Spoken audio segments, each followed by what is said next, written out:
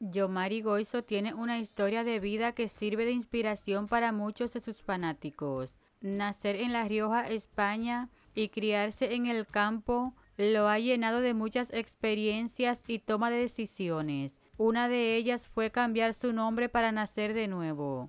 Durante su visita a Siéntese quien pueda, el conductor de Despierta América contó que en un momento de su vida quiso morir pero fue su abuela quien sin saberlo lo ayudó en su duro momento. Luego de esta dura experiencia, el español decidió cambiar su identidad.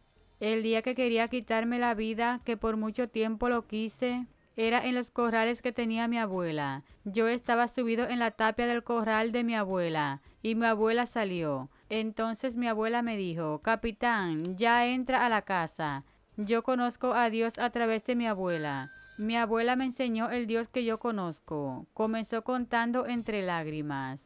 Yo no le pedía hacer eso a mi abuela, a mi familia, entonces ahí me cambió la visión. El túnel oscuro que no tenía salida me cambió, porque me di cuenta de que no podía seguir por ahí, agregó.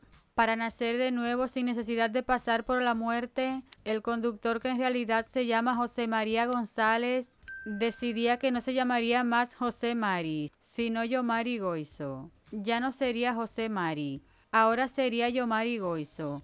Ese sería mi nombre a partir de entonces. Y hasta me inventé otra fecha de nacimiento que le diría a todos a partir de ahora. Era más fácil reinventarme que morir, expresó.